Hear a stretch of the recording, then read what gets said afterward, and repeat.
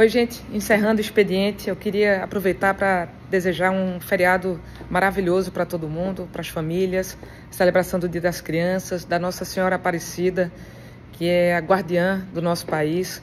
Que vocês possam é, descansar para aqueles que trabalham, que trabalhem em paz, mas que possam estar junto de suas famílias, podendo desfrutar desse momento. Eu vou aproveitar com os meus, estou né? morrendo de saudade de ficar um bocadinho em casa, é, com a minha mãe, com meus filhos, com minhas irmãs, meu pai. Eu espero que vocês possam fazer o mesmo. Beijo no coração de todos.